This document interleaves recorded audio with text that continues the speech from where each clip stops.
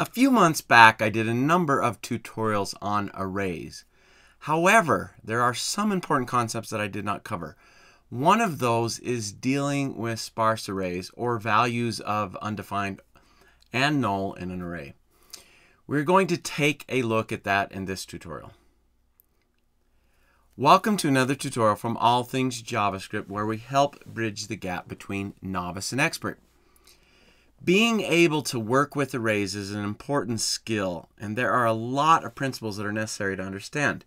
In this tutorial, we're going to take a look at how we can deal with sparse arrays and undefined values or values that contain a null. Now, in a previous tutorial, I covered how to work with undefined and null and the difference between them, and I'll include a link to that tutorial in the description. So let's take a look at sparse arrays and undefined and null values. But first, let's make sure we understand what a sparse array is and how that is different from an array with undefined or null values. So here I have set up a couple of arrays. The first one I just define and then I include the values here. One of those values is a null and then one of them it becomes undefined because this variable has been declared and nothing's been assigned to it. So when I assign that to position 2, or the third position, element 2, it becomes undefined. The other array right here, this is a sparse array. There are elements of the array that do not have a value. Now before we go any farther, let me just show you both these arrays in the console. So let me open that console up and let's take a look at this one first. Now as you can see, this array has a null value, it has an undefined value, it also has something that says empty. Now where does that empty come from? Well, if we jump back right here, that was element 4 that I did not declare. Now, if I display RE2, those parts that are skipped are just considered empty. Now this is what we call a sparse array. So there are elements in the array that don't have anything in them. It doesn't have a value of null nor a value of undefined. That may be strange to talk about null and undefined as a value, but that's the way we refer to it. And it is considered different. The fact that the element is empty or has a null or undefined is considered different. And so that's what we want to look at is how we deal with that. There may be some situations where it doesn't matter to us, but there are a lot of situations where it does matter if there is a sparse array or if there are values that are undefined or null. All right, so first let's let's take a look at iterating through an array and let's first take a look at RE. We'll do that one first. And we'll use a regular for loop. So we're going to let i equal 0. That's the start of the array. And then we will run the loop to the length minus 1. So that will go to all of the elements in the array. And then we'll just increment i. So here's our for loop. Now, let's first just do a console log statement and see what we get. We're just going to log each element. All right, like that. Save that and refresh. Now notice what we get for that empty element. We get undefined. It simply displays undefined. However, when we are looking at the arrays, we saw those as different. And we'll see how they can be treated differently as well. Now let's take a look how that for loop would act on a sparse array. You probably guessed they're all going to display as undefined, but let's go ahead and show that. Yeah, so the two empty elements display as undefined. So now working in a for loop, if we're iterating over an array and we're trying to avoid undefined, null, or empty elements, well, there's a simple way we can do that using the truthy and falsy that's available in JavaScript, we can just check the value like this. Let's see, I'm doing RE2 in this one, so let me change that. Then when we log to the console, we'll see that we don't get any of those undefined elements. So let me comment out that log statement, save that, and let's go ahead and refresh. Make sure we put we're displaying the right array. Do this again. All right, so now we're just getting the values, the elements that have a value other than null, undefined, or is simply empty. And that would work as well with the other array. Oh, I'm realizing, oh, right there. If I'm going to do length minus 1, I need to do less than or equal to. Or I could just do less than array 2 dot length. Now we're getting all the values there. And then we can do the other array as well and see that it works the same way. So I'll just change this to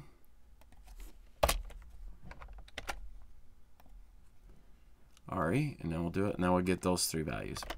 So that's one way in working with those, if you're iterating over that. Now, the for in loop work, works really well with a sparse array because for in will automatically skip any empty elements.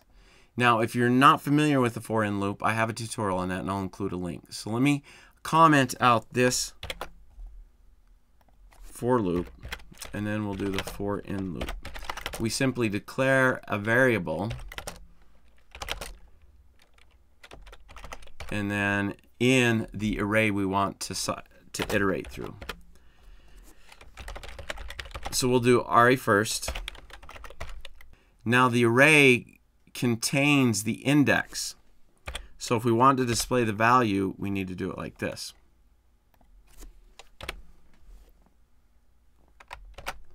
Save that. Let's go ahead and see what we get. So with Ari, we still see the null and undefined value. Notice we don't see the empty value. That doesn't show up. But we get null and undefined. Now, if we do RE2, which is our sparse array, none of those empty values will show up. And so that's a great loop for working with a sparse array. Now, occasionally the fact that there is no value in an array can affect what we're doing. So let me give an example here. Let's say we want to sum these values and then we want to get an average of them. So, and I'll just log that to the console. We can do that with reduce. Now, if you're not familiar with the reduce method, I have a tutorial on that, and I will include a link so you can review that if you choose to. But basically what reduce does, is it allows us to cycle through an array and combine all of the elements using what we indicate in the function that we pass into it. And in this case, I'm going to add them together. That's what I'm doing to it. And so that's going to give us a total value at the end of all of the items in an array. So now Ari has a null and an undefined value and then an empty value. So let's see what happens when we try to reduce that array. Whoops, I forgot to put return. That's an important part when using reduce refresh, we get NaN, not a number. So it's trying to add the null value, it's trying to add the undefined value, and so we get NaN as a return value. So that didn't work for us. However, if we're doing the sparse array, that works fine for us because it skips empty elements. It automatically, reduce automatically skips those empty elements, and so that works great. However, if we then wanted to get the average of that by dividing it by re2.length, put some returns there so that shows up better, you can imagine what we get. It's not a correct average because we have empty values and the length of this is going to be see, 1, 2, 3, 4, 5, 6, 7. And so it's dividing it by 7. So the last little trick I want to show you when working with sparse arrays or with arrays that have undefined or null values is what if you want to just remove them so that whatever work you're doing, you're not going to run into problems? If there's undefined or null values, you're not going to get NaN. Or if you're trying to do an average like we're doing here, it's not going to cause a problem because of the length. So let's take a look at that first. I'm going to set new array equal to, and let's do array first, array.filter. We use the filter method. Once again, I have a tutorial on this if you need it. And what are we going to do with the filter method? Both reduce and filter, basically what they do is they iterate through every element in an array and then do something to it based upon the function you pass in. Now, the filter method requires a predicate function, meaning a function that returns either true or false.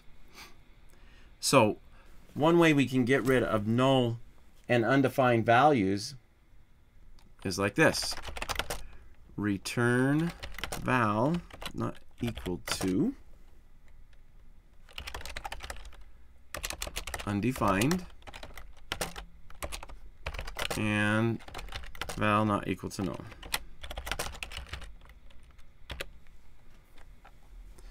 So filter is going to create a new array, but it will not return any values that are undefined and null. The empty values are still going to be in this new array. So let's go ahead and change new array. Down here, we'll put that in the reduce.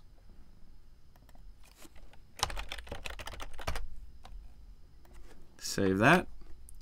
Now let's refresh. So that's getting closer. We're now not getting an NAN when we try to sum those together. We're still not getting the correct average though because we have one empty value left in there. And so how do we get rid of a sparse array? So let's just do the sparse array. We can execute this next filter method on the array we just completed. But I'm going to do the sparse array so we remove all of the empty elements from that one. Basically, we're using filter again. The difference is for the return value, we simply return true. Why do we return just true? Well, remember, filter takes a predicate function, so we either have to get true or false as the result. If the value is true, it will then add it to the new array. The only way the value is going to be true is if it's a a value that it can actually do something with. Filter is not going to act on any empty elements. And so that's why this works for us.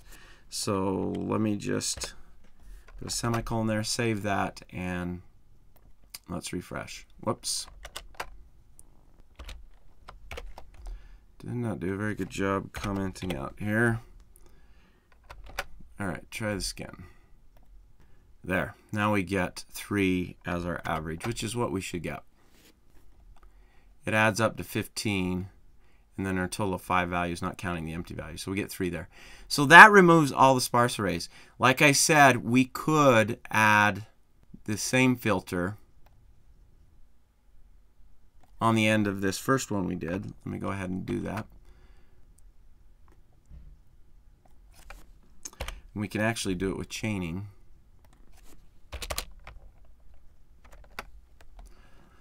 Like that, and that will get rid of the sparse values as well. So doing both of those together,